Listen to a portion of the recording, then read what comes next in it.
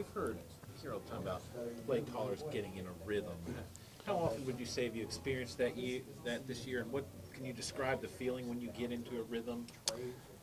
It's it's just been the same message all year, just week to week.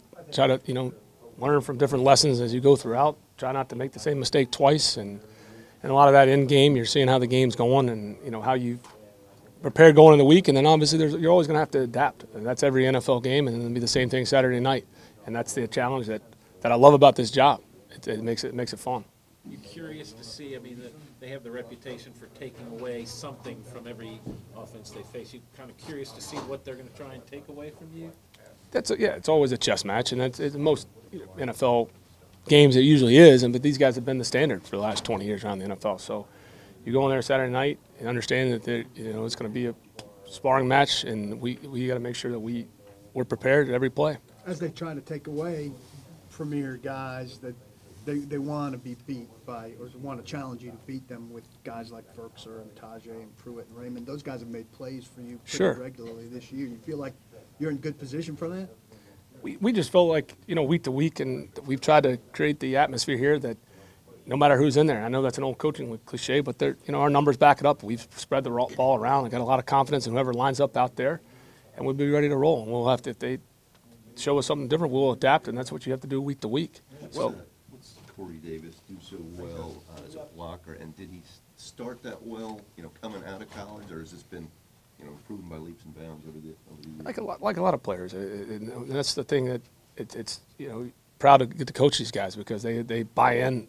They all you know AJ does it, Tajaé, Kalif, Adam, all those guys have tried to, and, and like those, he, Corey's done a nice job. He's tried to improve, and, and you know week to week, and he hasn't gotten down, and, and it's it's been fun so, to coach those guys. What are some of the successful ways, whether it be yourself or even seeing the other coaches, Coach Dews, Coach Vrabel, be able to inspire and- bring the best out of Derrick Henry? I think there's a lot of factors into it, and um, it's been been good. It's just like you, you, the question about Corey. I mean, Derrick's the same way. You know, he's as he's gotten every year, he's he's had the right mindset and work ethic to come out here and, and try to improve, and he's really worked at it. And it's it's nice to see a guy that's that's worked that hard for him to have some success, and really as a team and as the offense. Same Did with you- the line. Did And you he stayed focused this year, Arthur, even though he's in a contract year. And he made it clear at the start of camp that he wasn't look, looking at that. Have you seen that uh, uh, focus on the task at hand through the year? Well, I mean that's that's his personal situation, and, and the way I look always looked at it from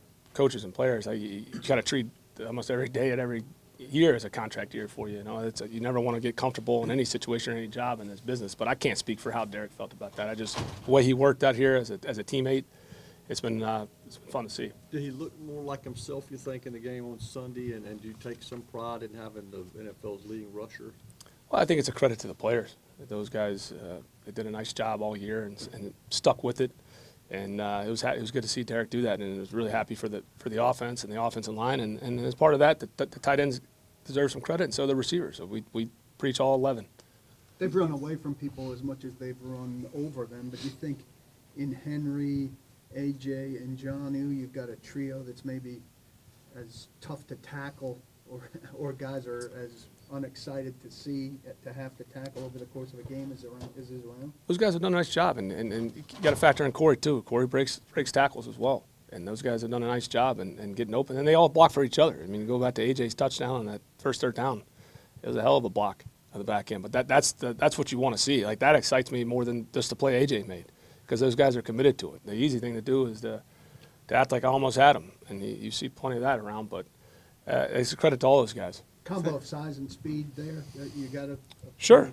Yeah, they're, they're the, those guys. It, it's been proven this year they, they can create yards after contact. You factor into your game plan at all, Arthur, the, the wear and tear that Derrick has on, on defenses as the game goes along? Well, it's a- a- as a game. It just and that's to me is the the running the football, especially late in the year. You hope that it has that effect, and you hope that you're not playing. In, you know, certain situations you want to be able to still dictate what you want to do, not become obvious. And it is a, it is nice to see as you as the run game, you stay committed to it, and it just chips away at it. And, and Derrick's done a nice job with that, and so has the line. Do you Any, any more for, for a big guy like him than it might be for a smaller back?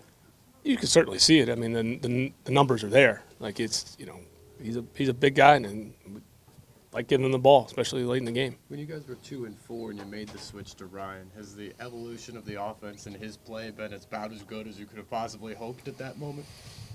Well, I, you know, I, like I said, I never looked at anything as catastrophic or got too high one way or the other because you just kind of looked at it from week to week, and, and there was a lot of factors into it. And I know that was obviously a, a big decision, and, and Ryan's done a nice job, but it, it's a lot of the offense. The line settled in, the receivers, everybody got more comfortable with each other, and, and Ryan did a nice job of leading them. But you just kind of look at it week to week. Even when you win, I, you, you don't want to sit there and pat yourself on the back because you know that this thing's a grind, and it'll, it'll be, as we're working here to Saturday, the same thing.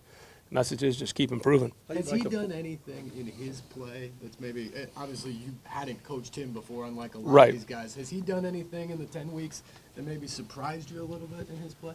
I wouldn't say surprise me. I mean, I, those guys that he's a professional and he's a confident guy and he's been around. He's been around, so it, it's and he's done a nice job of, of taking what what's been given to him and and, and his role has increased and, and he really has done a nice job. But it hasn't surprised me, no. How- How you like the poise that he's played with, maybe in tough situations, and how you anticipate him maybe going into his, his first playoff game?